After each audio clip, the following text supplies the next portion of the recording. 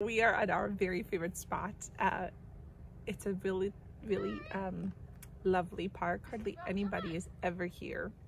And the girls and I would come here when they were little, when we first moved into our community.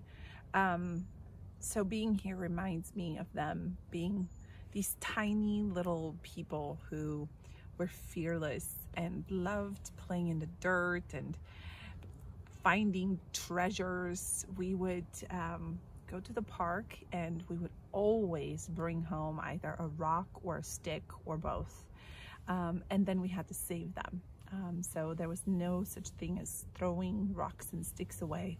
They became the toys and the building blocks of forts and all kinds of things they would do in the backyard, with the treasures they found.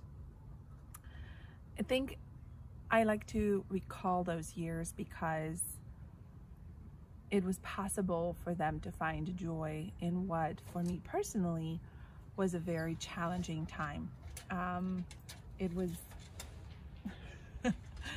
it was, it was important for us to find those those redemptive moments in the small, small things, the small everyday things of our lives, um, even even if it if the overall picture seemed a little bit dim or difficult. When we moved to Sonoma County, we did so without having jobs, without having a lot of opportunity lined up, um, but with the idea that we were going to um, be okay and that we were going to find a way and make a way for um, for ourselves.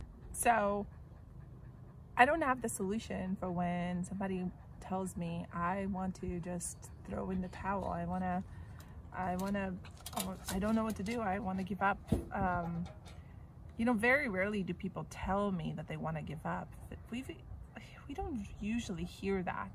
Certainly there are those situations. Most of the time I think we think it though.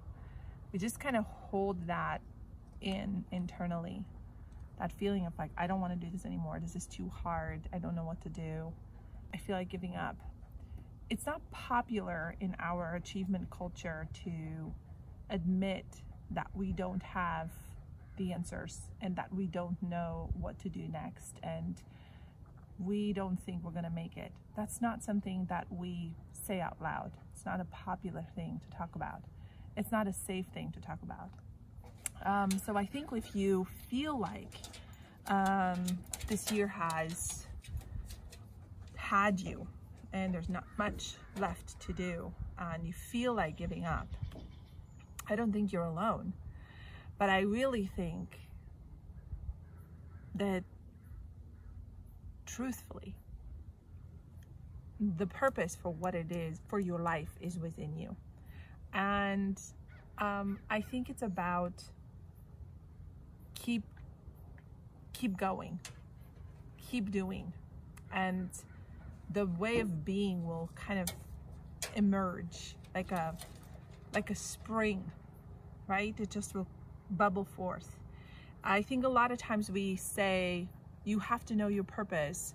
Go after your purpose as if you know you know it first and then you go after it. And sometimes we we go and we do the things we need to do and we do the things that um, that we feel we we feel called to. We feel that there's a need and we can meet it.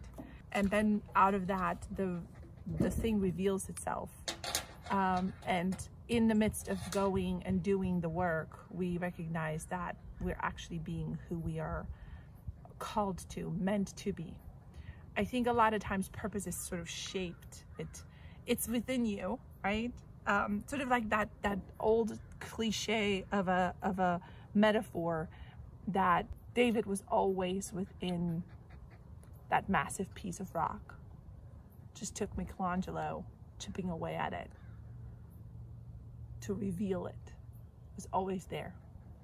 And so purpose, I think, is like that. It's not, sometimes you know it. Sometimes you just kind of know it and you go for it.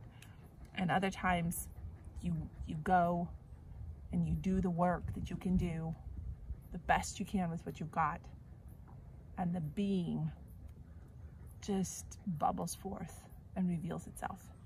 So if you feel like 2020 is sort of like, you know, um, it's okay to say that out loud. And it doesn't mean that we're all going to collectively give up on it. Um, because giving up as humans, in the scheme of things, the evolution of humanity, is not really an option.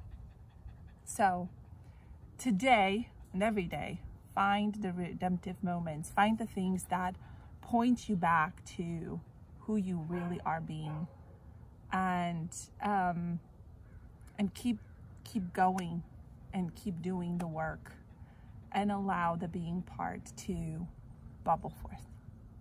I can't wait for this week. I can't wait to see what else is possible.